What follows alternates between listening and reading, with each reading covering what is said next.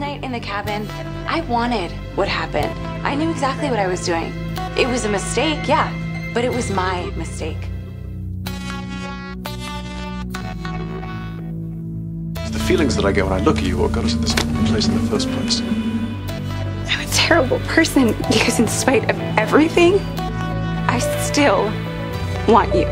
This doesn't happen again. Ever. Are you still in love with him?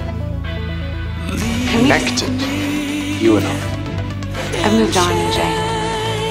Could have turned into someone so unique, so special instead of turning into. It's better than having anyone know what a fool I was. You're right. What we had wasn't enough. I am the luckiest woman on the planet. If you were good or decent, you would have had some restraint and you would have left me the hell alone. Stay away. I didn't want you to.